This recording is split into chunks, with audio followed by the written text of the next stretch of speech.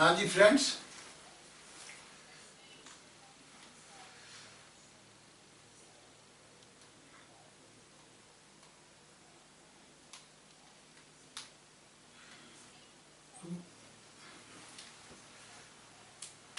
तो हम लोग क्या कर रहे थे? Make or buy decision with key factor हम लोग कर or buy decision with key factor okay अब समझिए कि हम कई कंपोनेंट्स बना रहे हैं। जो कंपोनेंट्स बना रहे हैं, मान लो कंपोनेंट्स बना रहे हैं ए बी सी ये सारे कंपोनेंट अब इन सारे कंपोनेंट्स की अलग अलग मैन्युफैक्चरिंग कॉस्ट और परचेज कॉस्ट का हम करेंगे कंपेरिजन तो सबसे फ़र्स्ट काम क्या होगा एक ही मैन्युफैक्चरिंग कॉस्ट और एक ही परचेज कॉस्ट अगर manufacturing cost that is variable manufacturing cost variable cost variable manufacturing cost is less than purchase cost इसी तरह बी की variable manufacturing cost less than purchase cost okay manufacturing cost less than purchase cost A की A की B B हाँ जी. C variable cost manufacturing and purchase cost manufacturing for B C C की less than purchase cost ये case होगा तभी हम manufacturing करेंगे तीनों आइटम की। ओके? तो key factor for A and B and C के अंदर कब होगा? जब तीनों ही केस के अंदर। अदरवाइज़ जिस जिस कंपोनेंट की परचेज कॉस्ट वैल्यूएबल से कम होगी तो उससे को तो हम परचेज कर लेंगे। तो जब मेक और बाई डिसीज़न हो जाएगा, तब हमारे को आया ए बी और सी तब हम क्या देखेंगे कि A B C in components को हमें क्या करना है? इन कंपोनेंट्स को मैन्युफैक्चर करना है। ठीक है?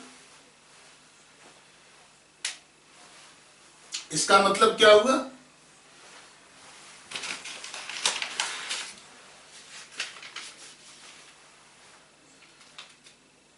तो अब हम सबसे पहले क्या होगा? कि सबसे पहले अगर तीनों ही केसेज में इससे हम लोग क्या समझे? यदि तीनों ही केसेज के अंदर,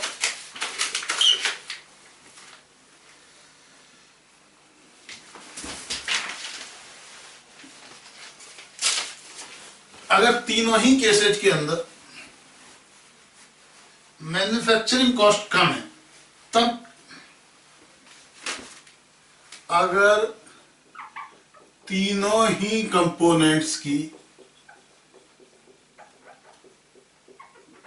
तीनों ही कंपोनेंट्स की मैन्युफैक्चरिंग वेरिएबल कॉस्ट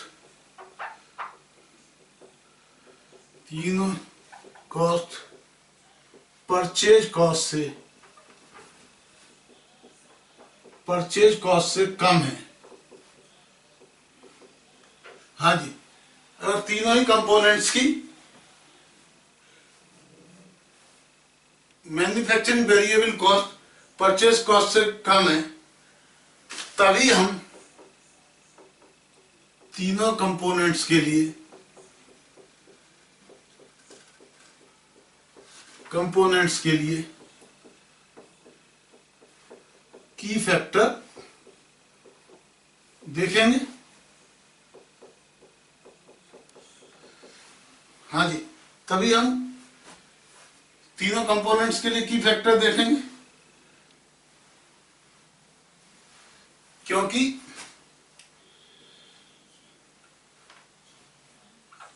तीनों कंपोनेंट की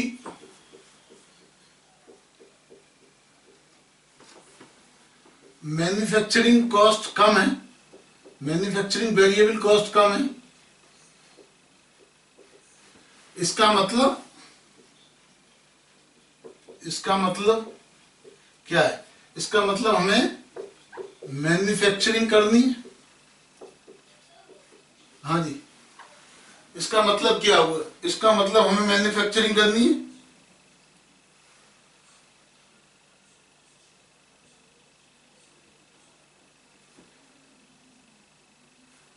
इसका मतलब हमें मैन्युफैक्चरिंग करनी है। या दूसरे शब्दों में कहें, यदि तीनों की अलग अलग एक एक कंपोनेंट्स की मैन्युफैक्चरिंग और परचेज कॉस्ट का जब हम कंपैरिजन करते हैं मैन्युफैक्चरिंग कॉस्ट कम आती है। इसका मतलब हमें तीनों को बनाना है। ओके? इसका मतलब तब हम कहेंगे कि हमें तीनों मैन्युफैक्चरिंग करनी है। ओके? तो समझ लो, मान लो।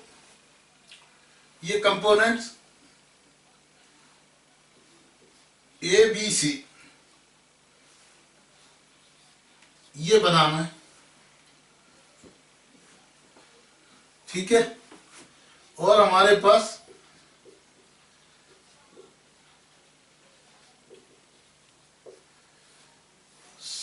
समय की कमी है?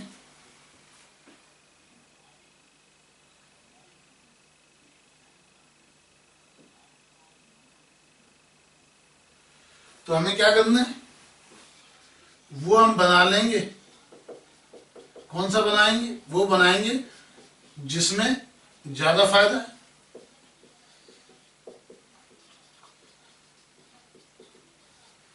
ठीक है?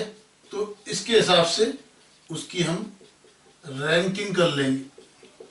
और रैंकिंग करने के बाद प्रायोरिटी बेसिस पे जिसमें ज़्यादा फ़ायदा है, पहले उसको बनाएँगे है ना? अब फ़ायदा तो तीनों में फ़ायदा मान लो मान लो तीनों में है। तीनों में है। लेकिन हमारे पास समय कम है। लेकिन हमारे पास क्या है? हमारे पास समय कम है, अब क्या करें? समय बढ़ा भी नहीं सकते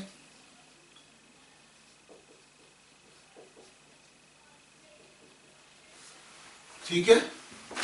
अब बताइए क्या करें? मान लो हमारे पास यही ऑडिटोरियम है। ठीक है? इसी ऑडिटोरियम के अंदर हम कॉस्टिंग की क्लास लगाते हैं। है ना?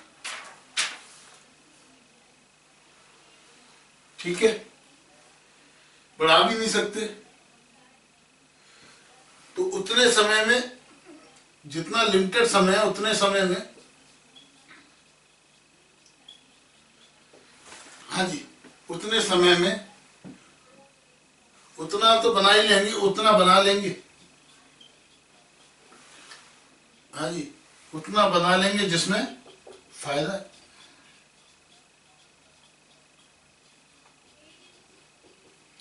मान लो ये स्टूडियो है।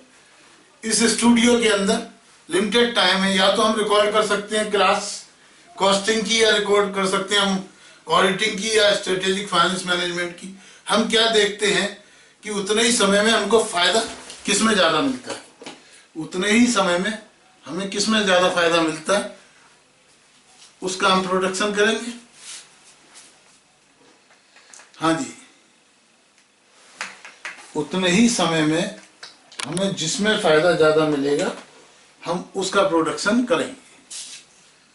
बात समझ में आती है? हाँ जी। ये बात समझ में आ रही है?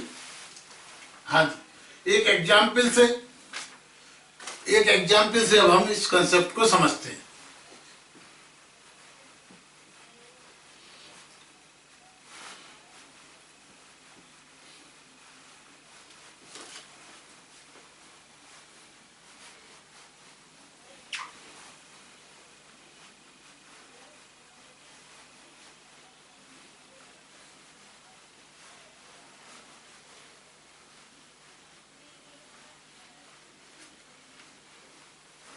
हाँ जी। अब हम एक मान लो हमारे पास तीन कंपोनेंट्स हैं। तीन कंपोनेंट्स हैं। एक्स वाई एंड जेड तीन कंपोनेंट्स हैं। ठीक है? इनकी वेरिएबल कॉस्ट है। वेरिएबल कॉस्ट है टेन ट्वेंटी, सिक्सटी। ठीक है? ध्यान से सुनिएगा। एक एक पॉइंट यदि सावधानी हटी नहीं, दुर्घटना घटी यदि आपने जरा सा टेंशन लूज किया, क्योंकि ये हमारा कॉस्टिंग का बेस है, बहुत सारी चीज़ें इससे समझेंगे। ठीक है? अब इन कंपोनेंट्स की, ये जो कंपोनेंट्स की वेरिएबल कॉस्ट है अब इनकी परचेज कॉस्ट परचेज कॉस्ट है twenty forty and one fifty तो इसका मतलब इन तीनों ही केसेज के अंदर, इस केस के अंदर भी variable cost is less than purchase cost इसमें भी लेस देन है, इसमें भी, यानी तीनों में मैन्युफैक्चरिंग में फ़ायदा है। तीनों में फ़ायदा है। इसका मतलब हम परचेज नहीं करेंगे। परचेज नहीं करेंगे। तो तीनों में हम क्या करेंगे? तीनों में तीनों ही कंपोनेंट हम मैन्युफैक्चर करेंगे। ये कंपोनेंट मैन्युफैक्चरिंग की वेरिएबल कॉस्ट है। तो हम क्या करेंगे? तीनों ही केस में। तो पहला क्वेश्चन का पार्ट हमारा यहाँ पूरा हुआ कि हम तीनों ही केस में, तीनों ही केस में मैन्युफैक्चरिंग करेंगे। जब तीनों ही केस में मैन्युफैक्चरिंग करेंगे तो की फैक्टर आएगा। तो की फैक्टर के लिए अब हम निकालेंगे फ़ायदा। तो बेनिफिट इन मैन्युफैक्चरिंग क्या होगा? Ten rupees twenty rupees ninety rupees ये बेनिफिट क्या है? पर कंपोनेंट है। ओके अब हमारा क्या है? ध्यान से सुनिए कि हम एक यूनिट में निकाल लेंगे उस यूनिट की में। पर यूनिट जो हमारी की फैक्टर है। तो की फैक्टर मीन जिसकी शॉर्ट सप्लाई है, जिसकी शॉर्ट सप्लाई है लिमिटेड है, और की उसी को हम की कहते हैं। तो बड़े ध्यान से आप सुनिए, ये हम देखेंगे। कि ये जो प्रोडक्ट है कंपोनेंट है, इसको बनाने में हमको लगता है, मान लो आवर्स है वन वन आवर लगता है। बाई बनाने के अंदर हमारे को लग जाते हैं फोर आवर्स और जेड बनाने में हमको लगते हैं फिफ्टीन आवर्स अब सबसे ज़्यादा बेनिफिट किसमें? सबसे ज़्यादा बेनिफिट इन तीनों में जेड में है। तो हम आपके हिसाब से सबसे ज़्यादा आवर वाली रैंकिंग होती। लेकिन क्योंकि आवर्स हमारे पास लिमिटेड है तो हम अब इसके अंदर पर कंपोनेंट ना करके। अगर हमारी सेलिंग की लिमिटेशन होती है ceiling of number ceiling number होता, तब तो हम ये करते कि हम दस नंबर बेच सकते हैं, पाँच नंबर बेच सकते हैं। लेकिन यहाँ हमारी आवर्स की लिमिटेशन है तो जिसकी लिमिटेशन है तो हमें निकालना होगा कंट्रीब्यूशन पर लिमिटिंग फैक्टर हमें निकालना क्या होता है? कंट्रीब्यूशन पर लिमिटिंग फैक्टर यानी पर की फैक्टर तो यहाँ पर आवर लिमिटेड है तो हमने निकाला कंट्रीब्यूशन या बेनिफिट कंट्रीब्यूशन पर आवर ये हमारा था कंट्रीब्यूशन इन मैन्युफैक्चरिंग ये दस आया ये फाइव आया। अब भाई ये जो रैंकिंग है, वो रैंकिंग बदल गई। ठीक है? यानी ये जो रैंकिंग है, ये फ़र्स्ट पॉइंट पर आ गई और ये सेकंड आ गया, ये थर्ड आ गया। ठीक है? तो अब हम क्या करेंगे? इसके तो तीनों को बनाने में क्या होगा? तो हमने इसको दे दी ranking one ranking three two अब ओके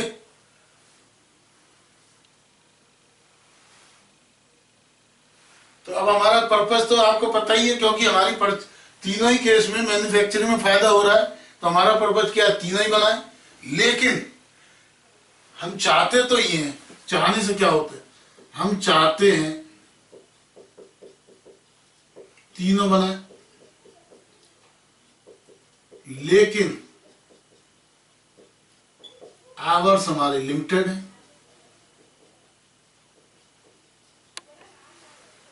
तो हम क्या करेंगे? तो हम क्या करेंगे? हम देखेंगे कि पर आवर सेविंग किसमें ज़्यादा है, किसमें ज़्यादा है। पहले उसे बना लेंगे।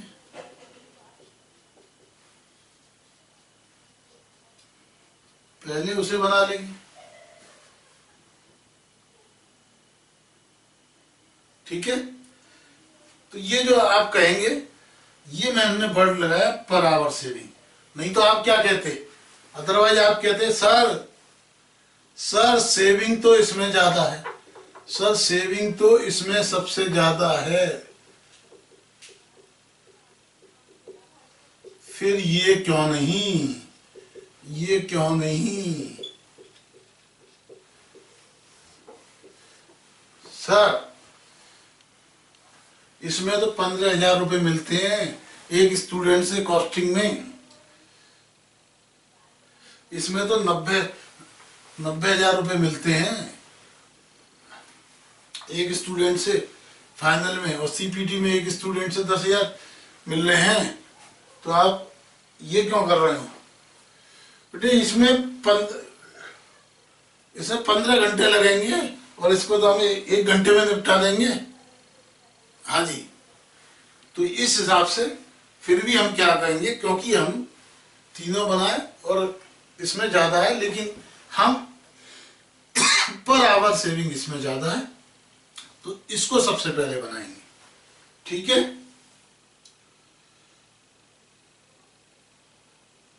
क्योंकि यहाँ देखो पंद्रह घंटे में, यहाँ हमको एक घंटे में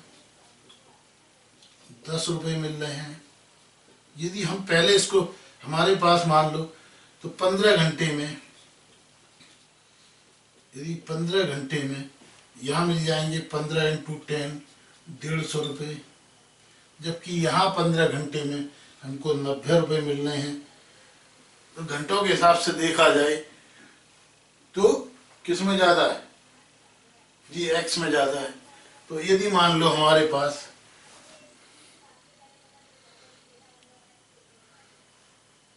हमारे को सौ कंपोनेंट ये बनाने हैं, सौ कंपोनेंट ये बनाने सौ कंपोनेंट ये बनाने हैं, हमारे पास पाँच सौ घंटे हैं तो हम क्या करेंगे? सबसे पहले इसको बनाने में हमको वन आवर चाहिए। तो हमारे को क्या करना है? कितने कंपोनेंट बनाने हैं? सौ। तो हंड्रेड इंटू वन करेंगे तो हमारे को हंड्रेड आवर्स हमने इसमें लगा देंगे सबसे पहले। ठीक है? उसके बाद इसमें एक बनाने में हमको चाहिए चार घंटे। ठीक है? तो हम चार इंटू ये आप समझ लिए फाइव फिफ्टी आवर्स है मान लो। तो चार इंटू हंड्रेड चार सौ आवर्स इसमें लग जाएँगे। बाकी पचास आवर्स में जितने बनेंगे। ठीक है? पाँच सौ पैंतालीस घंटे मानिए। तो यहाँ पैंतालीस आवर्स बने। तो इसके अंदर हमारे कितने बन पाएँगे? तीन बन पाएँगे। तो अब हम क्या करेंगे? ये दस इंटू हंड्रेड ये हमारा प्रॉफिट होगा।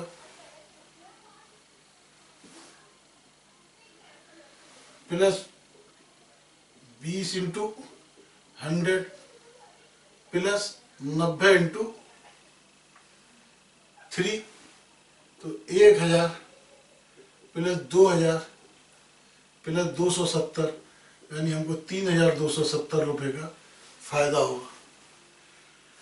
लेकिन यदि ये पाँच सौ पैंतालीस में पहले हम ये बनाने की कोशिश करते तो एक में पंद्रह लगते हैं तो पंद्रह तीय पंद्रह तीन पैंतालीस, छत्तीस ये पीस बन बन पाते।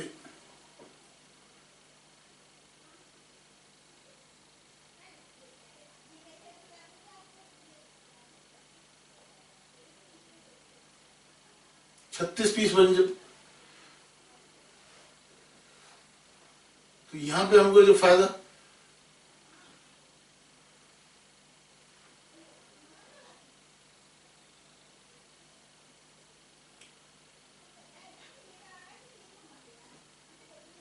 एक में हमें कितने लग रहे थे? पंद्रह घंटे लग रहे थे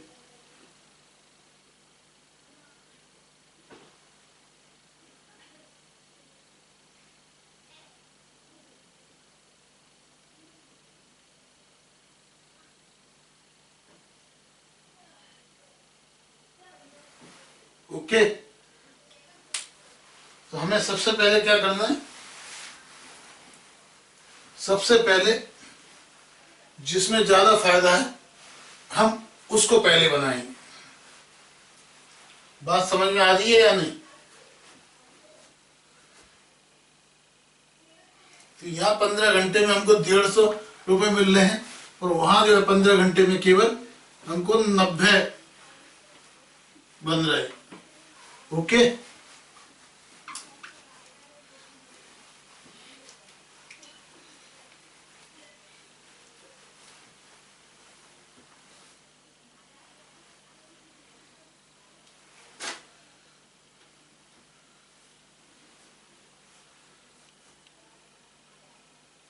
तो कुल मिला के हमने क्या समझा? कि एक्स बनाने में एक घंटा लग रहा है। बाई बनाने में चार घंटे लग रहे हैं। जेड बनाने में पंद्रह घंटे लग रहे हैं। ठीक है? तो यहाँ पर पंद्रह घंटे में एक पीस बनता है जिसपे नब्बे रुपए मिलते हैं। यानी पंद्रह घंटे में नब्बे रुपए बनते इसमें पंद्रह घंटे में, एक घंटे में दस रुपए मिलते हैं तो पंद्रह घंटे में डेढ़ सौ रुपए मिलेंगे। ओके?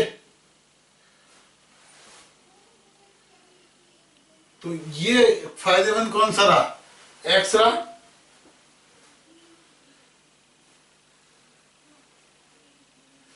तो इसका मतलब सबसे पहले सबसे पहले घंटे एक्स बनाने में लगाइए। ओके? तो दस का पर घंटे फ़ायदा होगा। दस का पर घंटे फ़ायदा होगा। ओके? तो जितनी मैक्सिमम तो जो जितनी भी मैक्सिमम रिक्वायरमेंट है,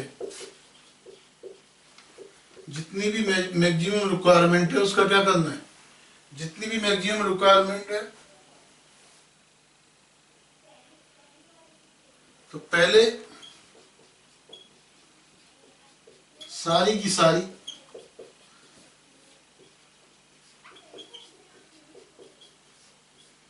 एक्स में खपा दो।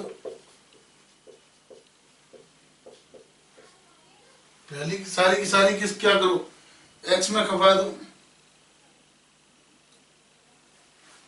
उसके बाद बाई में बचे तो जेड में नहीं तो जितना कम है।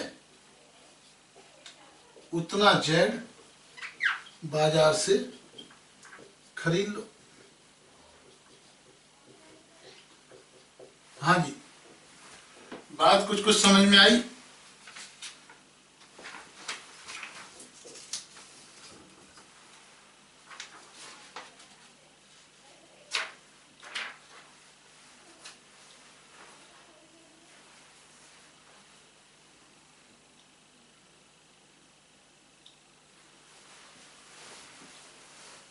कुछ कुछ समझ में आई?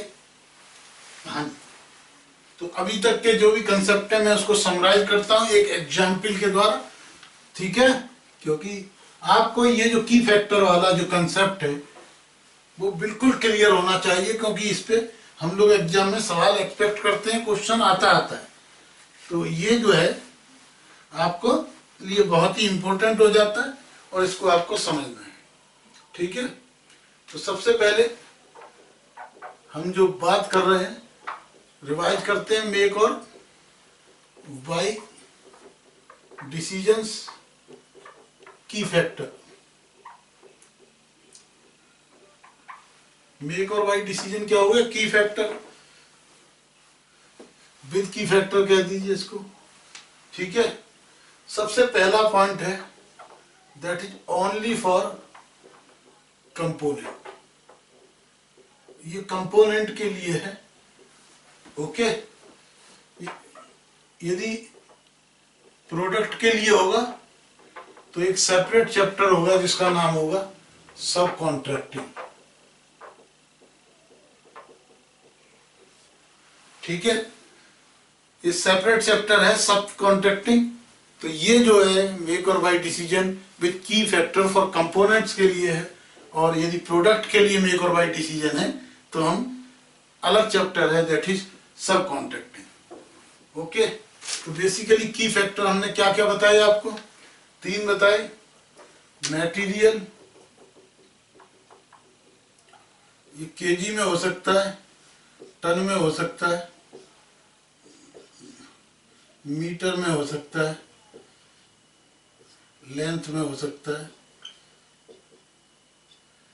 ओके उसके अलावा लेबर, ये आवर्स में हो सकती है, डेज़ में हो सकती है। मशीन,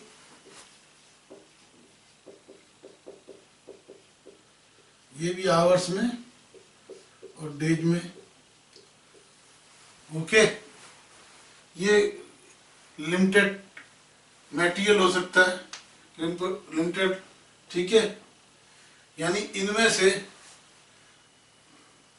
जो भी शॉर्ट सप्लाई में होगा short supply come and availability of which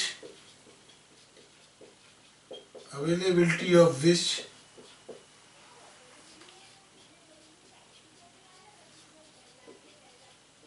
can not be increase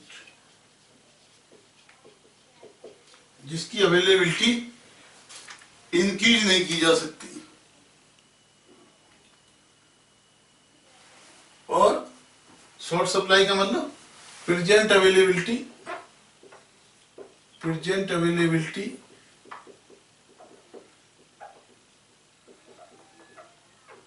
present availability is in short supply are not sufficient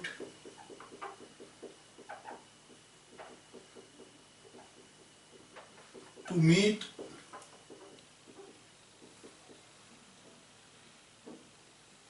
our requirement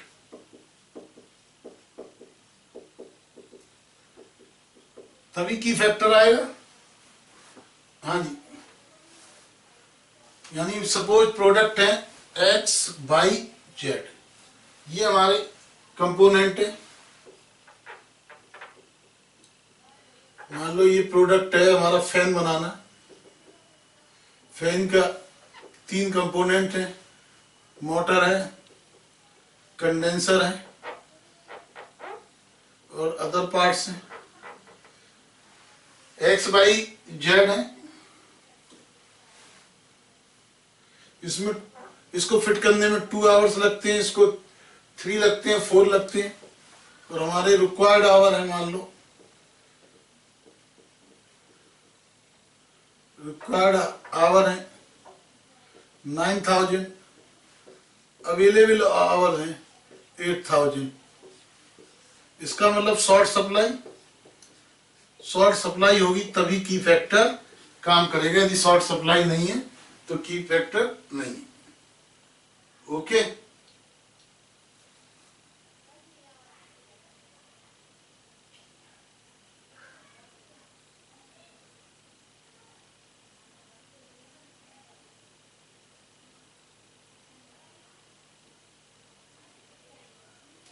okay तो ये हमने आज समझा मेक और बाई डिसीजंस ठीक है, अब आपको होमवर्क है, जितने भी क्वेश्चंस हैं बुक्स में ये कर दें।